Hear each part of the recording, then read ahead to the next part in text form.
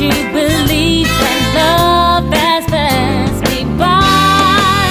That's not the way I planned it. What can I?